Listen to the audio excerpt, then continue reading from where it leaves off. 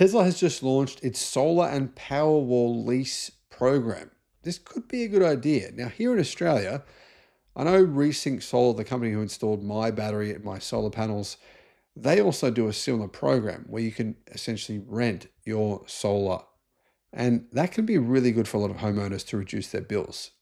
But Tesla has introduced a major new financing option designed to make its solar and home battery systems more accessible than ever before. Hello, my friends. Welcome to the channel. If you haven't already subscribed to our newsletter, make sure you do so. I'll put a link in the description below. You're not going to see most of our videos on YouTube. They're just not going to be shown in your feed otherwise. Tesla has introduced a major new financing option. I think this is a good idea. They've officially launched a new lease program in the United States that bundles solar panels and a Powerwall battery system together for what Tesla says is its lowest monthly payment. Not a Tesla app says that this addresses the largest hurdle for many homeowners considering a switch to solar or home backup, which is the high upfront cost. And it's true, there is a high upfront cost. So being able to not have to pay that high upfront cost is a really good idea. The new lease program has an upfront cost of only 600 US dollars. By shifting the financial model from a large capital purchase that pays for itself over a decade or more to a manageable monthly lease payment, Tesla significantly lowers the barriers of entry. And Tesla does something else, which is very interesting. I'll get to that in a minute. This is a very smart move from Tesla, and I don't think people realize what's actually really happening here. Beyond their lower initial cost, the new lease program includes a 95% system availability guarantee that remains in effect for the entire term of the lease. If the system's availability drops below 95%, customers will be eligible for a credit. Why would the system not be not be working all the time? I mean, 95%. Why are Tesla using it for 5% of the time? Yeah, you can see what's going on here, can't you? The lease covers all included maintenance for the solar panels and Powerwall, which includes inverters and batteries, two common items that may need to be replaced during the system's life, says not a Tesla app. Now, the truth is, the batteries are very unlikely to need to be replaced, so I don't agree with those claims. The lease term for solar panels and Powerwall is 25 years but the buyer can buy out the system after five years for a fair market value, which is similar to that of Tesla's vehicles. While the lease rate is, um, you know what it is, right? Tesla includes a 3% annual escalator, which is in line with standard inflation increases. The cost of the lease will be dependent on the size of the system and will vary from home to home. So it's hard to really say what the price is going to be for one individual homeowner. Leasing for five years is a good option as it allows homeowners to try out the system before committing to a purchase.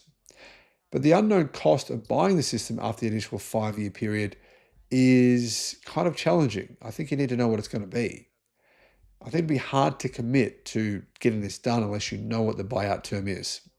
The lease term runs 25 years as well, so it's a pretty big commitment because someone else, if you might, you might decide to sell your house within 25 years, and then that person would take on that lease. Although, to be fair, it's still going to probably save them money overall, so that might not be an issue. An important feature of the new program is the performance guarantee. For the full term, Tesla guarantees the system will have at least 95% availability on average, calculated every two years throughout the term of your lease. If the system does not meet this guarantee, Tesla will provide compensation as outlined in the lease agreement. A lease for solar plus Powerwall or solar comes with a 25 year term, while a Powerwall only lease comes with a 12 year term. At the end of the lease, the lease leasee has the option to renew the lease for an additional five years, purchase the system outright, or have Tesla remove the system for an additional cost.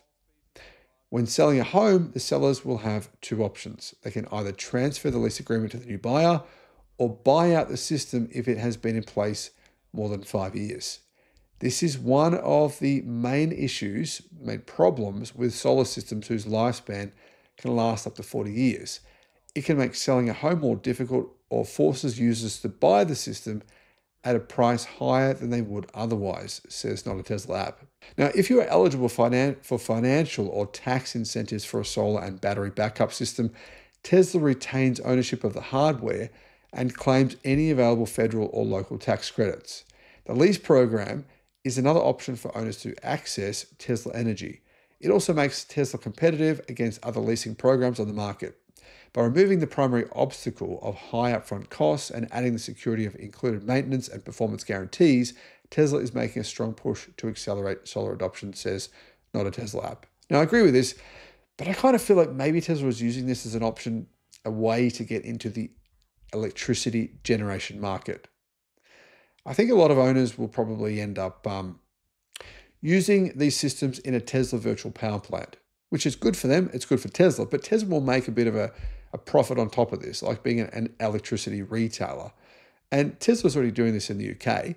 Uh, I think the virtual power plant thing is smart because Tesla's big advantage versus what basically everyone else in the electricity market is their software, their energy arbitrage software, which is capable of calculating all this stuff. And the truth is, there's all these apps right now that can do this for you. Like you can tra- you can trade energy uh, here in Australia using a certain electricity provider, but and there's these apps as well exist in the US, but none of them work perfectly. None of them do. None of them work as well as how as well as what Tesla is able to get these systems to work using their arbitrage, using their basically their software. And I think that's one of the big advantages that Tesla has.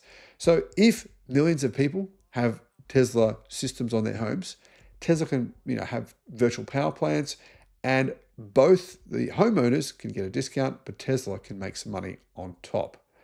It's sort of a, a way for Tesla to get subscription fees like Netflix and then make money on the subscription itself. It's pretty smart.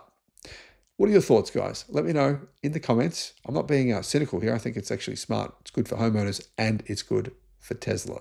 Thanks for watching. The Sydney EV International Motor Show.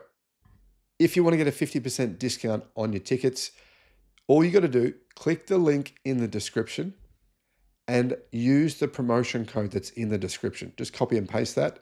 Now, I should mention there's only 200 tickets available per day. So if you go to use the promo code and you can't get a ticket, wait till the next day. Don't wait until the day before the show to get your tickets because otherwise you'll probably miss out on getting the 50% discount.